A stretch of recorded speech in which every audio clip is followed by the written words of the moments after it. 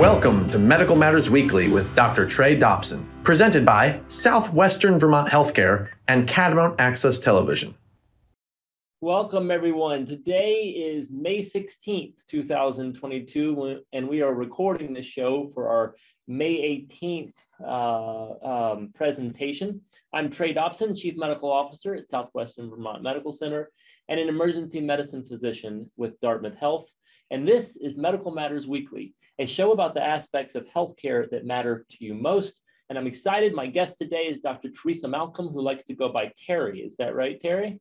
That's correct. Yes. The Vice President of Diversity, Equity, Inclusion, and Belonging at Dartmouth Health, which is a new position. Um, you've been in the position now for just a few weeks. Is that right?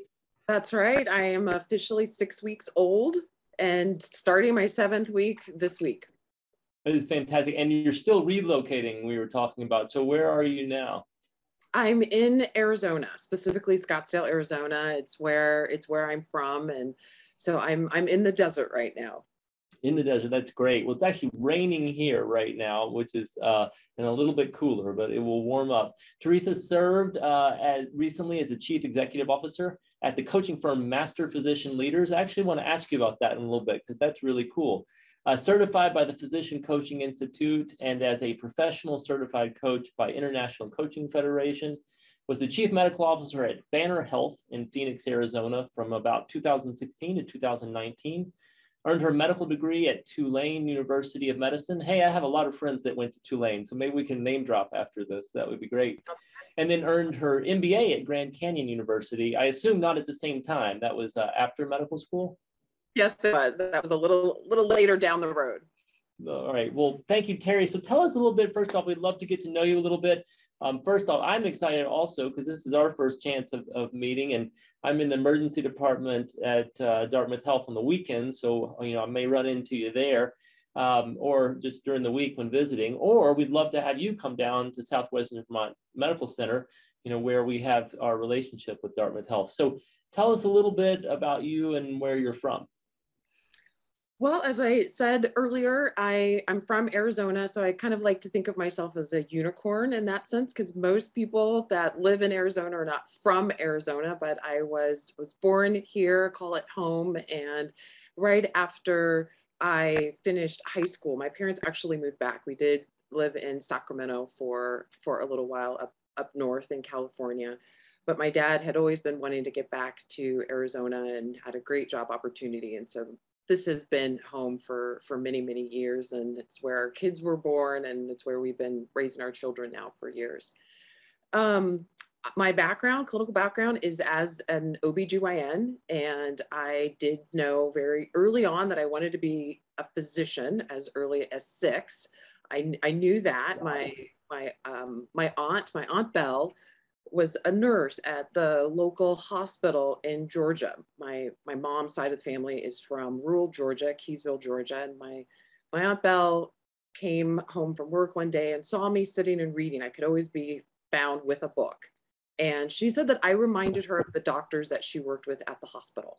She said they were always oh. engaged in reading and then they loved to come and teach. They loved to come and share what they had learned after, from their readings and she said that my my demeanor my interest in constantly learning my desire to share those learnings with others made her think of me as a doctor. And so that was a, a, a seed planted in my head very very early on and it stuck. I just did not let it go. And as I got older and I was introduced more into the sciences, it just seemed like this perfect combination of teaching and learning and the sciences and helping others to heal and lead healthier lives.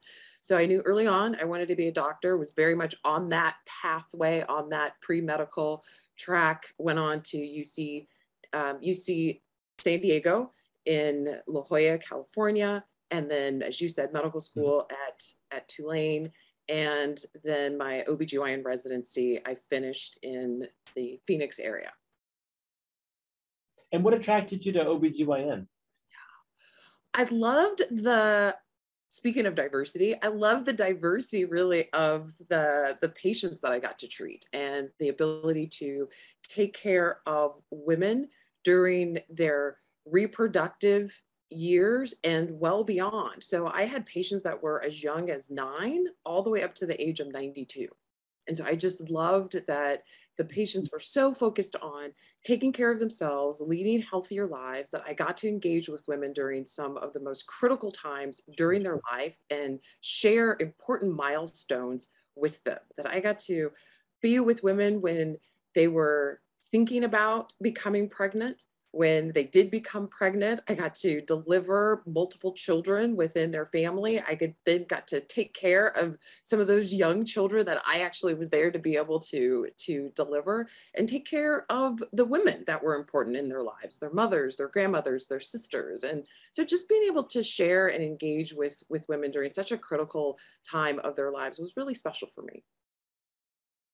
It's great. You know, I think most people in the audience know this, but if they don't, um, you might think of OBGYN as, as not diverse, but it's actually incredibly diverse. Like you said, not only the ages, but the physiology is diverse, and then the pathophysiology is diverse. Infectious disease, you know, the HIV aspects. Um, I have the benefit of being emergency physician, so I get to see all of that. But plus, my father is still a practicing OBGYN, so he, uh, you know, he's instilled that to me uh, since I was very young. Um, and that diversity is is very prevalent uh, disease diversity as well as physiology diversity in, in OBGYN. And it's, a, it's an attractive field for that. So then how did you move towards leadership and, and diversity, um, you know, outside of the practice of OBGYN?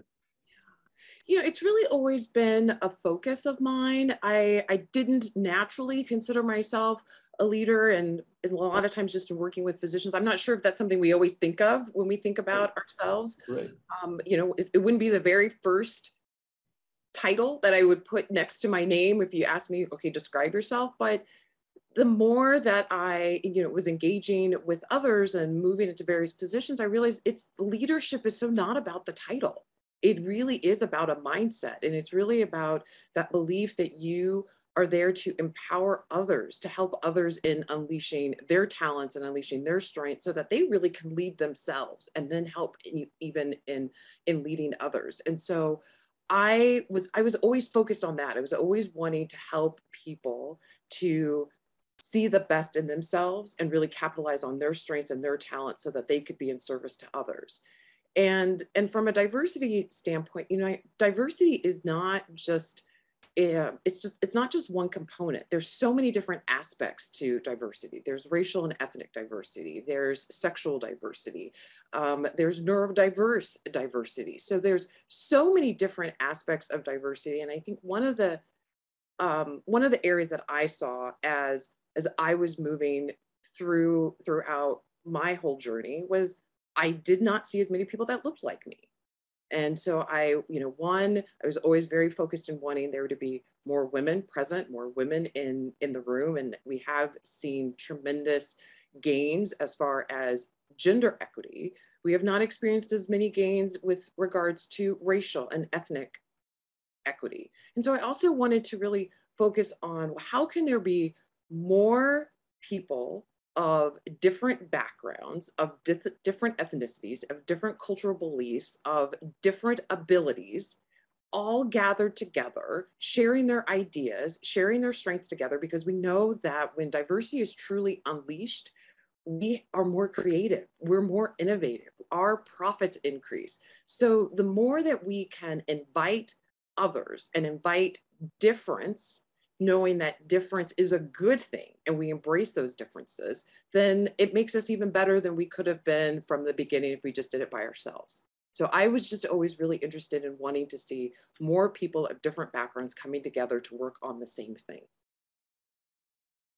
You know, I love what you were saying. So let me go see if I can go all the way back for a second. When on leadership, um, you know, I, I think about often if I ask a short-term leader or an unsuccessful leader, you know, what does it mean to be a leader? They say, you know, to direct others to do things, which of course is not what uh, is a hallmark of a good leader. A, a good leader inspires and motivates, helps guide and provide experience, but mostly inspires and motivates uh, others to come up with um, solutions to problems that the leader wasn't even you know thinking of or or you know even recognizes that's not their role if the role is to motivate and inspire others and then separately, we were talking about diversity. I mean, I, I couldn't agree more. In fact, sometimes I say the opposite. Uh, if a business or a hospital system or um, you know a school system is not diverse, then by definition, it's going to be stagnant and it's eventually going to fail uh, because the ideas are going to be myopic uh, rather than diverse you know hence its its word speaking of that i'm kind of going off line here but i think one of the biggest struggles we have um, here is the a lack of geographic diversity, or I should say that the, the geography inhibits some of the diversities. There's a lot of goodwill among um, uh, health and education uh, to expand and, and to become diverse, but then we're we're sort of stuck with a geography that is not that way, and that's just going to be a, a, challenge for us. And we and I bring it out to be transparent and say um, that's going to be a problem, whether we're at you know Dartmouth Hitchcock or anywhere really in New Hampshire, Vermont, Maine, New England um, that's a big problem, which we're not going to solve tomorrow, unfortunately. Yeah, that's absolutely true. And one of the things that I am really proud about in being part of Dartmouth Health is their willingness to think differently. And so recognizing this is a challenge in terms of the geography. And we have a number of people who have been part of the Dartmouth Health system for many years and very seasoned, very tenured. And so what can we do to even attract more talent to the mm-hmm. area and to just even being able to offer remote work possibilities and opportunities so that we can capitalize on a lot of those talents and those gifts that might exist and that we just know exist. We know they exist in other parts of the country. We know that they exist in other parts of the world and not just limiting people to sharing their gifts and their talents on site that there's so many different ways that we can tap into one another's capabilities and work together. Absolutely, that's great. You say that much better than I did. So, what do you think? Um, and you may have already just said this, but what do you think are the hallmarks of a truly diverse, equitable, and inclusive environment? It, uh, there's so many different aspects to that, but I'd say one, it's really embedded into the organization. It's really diversity, equity, inclusion, and belonging becomes embedded into the organization's mission. It's part of their vision. It's part of their values. It really becomes um, just essential to its daily operations and it's incorporated into its strategic uh, business objectives. It's, it's not just put off in its own silo. It's not something that is a nice to have, but it's a something that is considered essential to the daily operations of, of the business. Um, I, you know, I think it's also important that we have the ability to be able to measure and to track our successes as well as our failures. We know that this is going to be a long, ongoing, ongoing journey. There's going to be a lot of work to be done, and so we have to have a, um, a measuring and tracking system such that we can see where we're making improvements, where we can, where the progress is happening, where we need to pivot or where we need to shift and, and what are some of the aspects that we actually need to retire, that we need to let go of, those things that are no longer serving us in terms of what our overall uh, goals and what our ultimate vision really is. You know having that leadership support is is also so important that you know the senior leadership team and i feel so wonderful to be partnered together with joanne with dr conroy that she is somebody who has really embraced the importance of diversity equity inclusion and belonging and that we have a board our board of trustees is also advocating for this and that they, everyone wants to be allies in this work and really working together. So without that kind of leadership support, it makes it very difficult to get the kind of momentum and traction that we really need around this. And I, and I, you know, just as one final point, and I said, and I know that there's so many aspects to this, I can't overemphasize enough about how much this is everybody's responsibility. Mm-hmm. I, am so excited that this position has been created and that I'm here to help in being you know, a leader and help in putting together that strategic roadmap that we're going to be following. But this is not my work alone. This is not the work of the office alone. This is the work for all of us that we can work together. And I really want and hope that everyone sees the place for them in this and that whatever you're bringing to the table is going to make it even better. Right? It has to be a fabric of the culture. And we can look back. I love what you're talking about with when you're mentioning measurement um, because we, we can't be afraid to uh, make mistakes and we can't be afraid like you said to pull back when saying hey this isn't working. But that's the same thing we went through in medicine with uh, safety and bringing that in. We had to first off have the awareness and then second we had to make it a culture. We're still working on it but we've made some gains and the same with um, you know patient engagement patient involvement in in um, what goes on in medicine making sure they are a part of that decision making process. That didn't used to be in place. So we had to get that awareness and we had to measure it and we had to come up with ways uh, to improve it. So um, well yeah and you're, and you're so right too. It's not just your office. You can't come wave a magic wand and make uh, everything diverse and make everyone understand that um, so I think everyone will be working. There is a good, you know, there is much more awareness I feel than there was 10 years ago. And I think there's a strong willingness so that, that, that at least puts us uh, at a certain level to start with, and then we can keep keep working on it. What do you see? I, you know, I put this in one of the questions uh, earlier. What are the hidden costs or less well understood drawbacks of a, of a traditional environment in healthcare, which is mostly has been male dominated, white male dominated um, we talked a little bit about uh, that can cause stagnant um, and, and, and, it impedes growth, but can you speak a little bit more to that? Well, I, I think that, um, you know, one of the challenges that healthcare systems uh, are experiencing nationwide is, is retention. Right. We're, we're seeing a lot of our healthcare workers and professionals leave the practice of medicine altogether. So, just from a physician standpoint, one out of five physicians is considering leaving practice, right? They're considering leaving the practice of medicine. We know that our nursing professionals are also strongly considering leaving and have left. Many have left and are, you know, largely in part from what happened during these past two and a half years during the pandemic. We just know that moral injury, burnout has was an ep- at epidemic levels prior and the pandemic just really you know took that to a whole nother level. But we're really at an existential crisis right now when it comes to having adequate staffing to provide the care that's necessary for our patients to heal to take the, to provide the kind of world-class care that you know dartmouth prides itself on of really of really offering and providing. So we we've been able to go a very long way because healthcare professionals are so resilient. We are the most resilient individuals, you know, really when you look at comparing industry to industry. So we know that we can persevere, we will roll up our sleeves, we will go the extra mile, but to what endpoint, right? And what is the sacrifice at the end? We're sacrificing ourselves, we're sacrificing our own um, physical, mental, spiritual, emotional well being.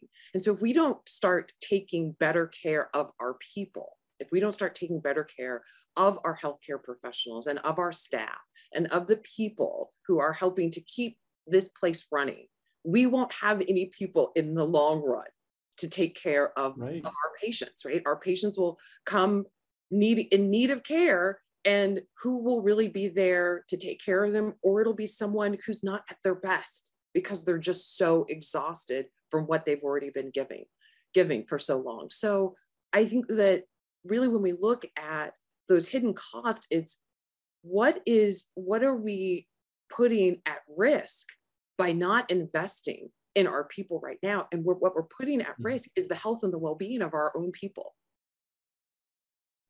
yeah, absolutely. You know what I hear so often um, is people sort of lamenting about the past, and they say, you know, well, in the past, uh, you know, we would work 90 hours a week and no one would complain. It's like, well, th- that was a problem. I mean, that's clearly a problem. And in the past, we were not diverse, and that's clearly a problem. And so um, when people talk about the past, I hope that they're really saying, look at what we did wrong in the past and how do we learn from that and, and move forward in ways that better support our our work staff. And I think also people get concerned that we're going to do things that don't make any sense. Of course, we're going to be reasonable. We're always going to work hard in our fields to try to help patients and fulfill the mission of the hospital.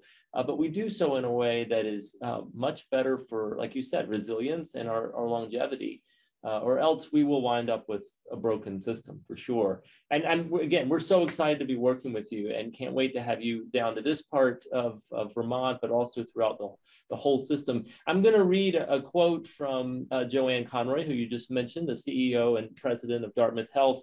Uh, she says that you, specifically Terry, are tasked with developing and leading an interdisciplinary and cross departmental office and be responsible for integrating diversity, equity, inclusion, and belonging values into all aspects of Dartmouth's health's culture, goals, metrics, and strategic operating plan. That sounds like a mission for an entire organization, not just uh, an individual or an office. I, I couldn't agree I more. Yeah, exactly. I really think that that's exactly her point is that um, that this is the work of all of us so I think, you know, we, it's important to have a person, a person who's still charged with this work, but I'm not charged in doing this alone. I'm just, I'm charged with really creating and, and supporting the environment that allows for this, for this work to get done.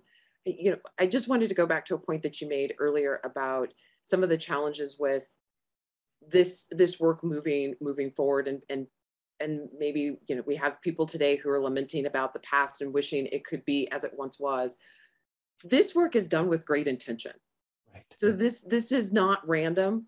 This is you know just not something that just you know feels good. This isn't just going with your gut.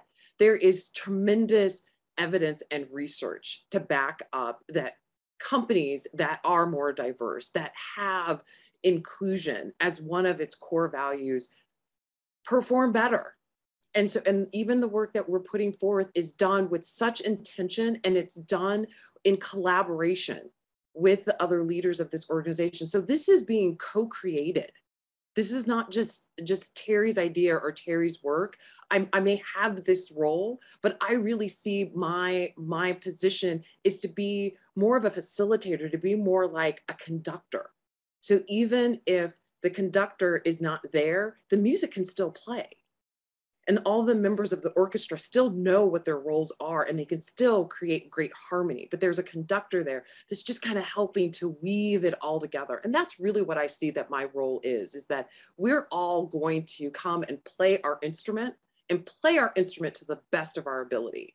And i'm here for us to just cre- co-create beautiful harmony that creates um, you know just a more inclusive work environment for us I love that. And I love how you, first of all, I love that analogy because I, I love analogies myself and I'm terrible at them. I give these analogies that people are just like, huh, what does that mean?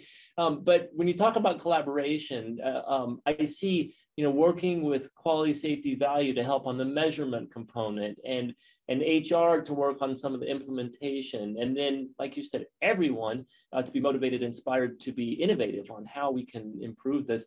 And you're right on the, um, of course you're right, but on the, on the aspect of uh, the evidence behind it, you know, it's the, and you mentioned this earlier, it's, it's not only being more successful in the ways we think of a business, like financial success, but which is true, more of a financial success, but also just the work culture and work environment. People are happier. And if you're happier at work, uh, the outcomes are always going to be better. You're going to perform better. People are going to have uh, greater, um, uh, they're going to stay in their positions for much longer and, and you grow and be successful. And again, the, those that don't just become stagnant and, and fall to the wayside. So in addition to all of this um, work, and we've kind of gone over this, but you have this uh, experience uh, in physician leadership. Can you tell us a lesson that you've learned uh, that you would like to, to tell the audience or what you do when you work with others uh, who are physician leaders? Yeah.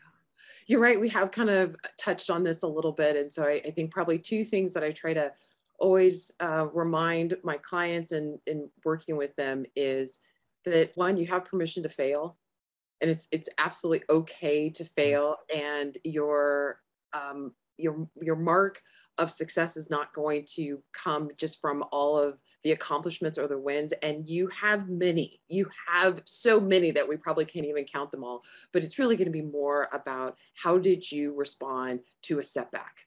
That's more what people are going to remember is how did you how did you respond to a setback? What did you learn from the setback? The your your failures are an opportunity to shift and to change and to improve and to do even better than you did before and secondly i like to give everybody just permission to feel just to get it really in touch with your emotional self that we are human beings not human doings we can do a lot. You are capable of so much and you have done so much, but to also listen to your inner leader because your inner leader is very smart, is very strong, is very courageous. And so all of those emotions that you are having are perfectly normal. I know when in my training, it was not it was not encouraged to feel. It was not necessarily normal to feel, even though we all do, but we just don't talk about it. So I just really want to, I always encourage my clients to listen to their emotional selves because that's a place of, of knowing, it's a place of great strength, and you can absolutely draw from that. Oh boy, that's a great way to finish up here. And we can't wait to have you back. Terry, uh, tell us just real quickly, what are you looking forward to over the next year or two professionally and personally? First off, I'm sure it's moving and getting settled uh, in the Northeast. Yes, yes, that's that's absolutely one of the things I'm looking forward to. I'm also really looking forward to getting to know more people within the organization. You know, I've really been on a on a listening tour and just listening to what some of the real challenges are, what some of the real pain points are, um, and it's I'm really excited about harnessing all of this energy, all of this enthusiasm that is present right now in this organization about this role, about me joining. And, you know, when I think about, did I, uh, about helping to co-lead a place of, a place of belonging, I feel like I belong here just because of how I have so been welcomed and have felt valued and have felt connected to this organization. So I'm really looking forward to us accomplishing some of those goals that we said that we we were going to set out to do and from one year from now, looking back and congratulating ourselves and continuing to look ahead at what more is to come.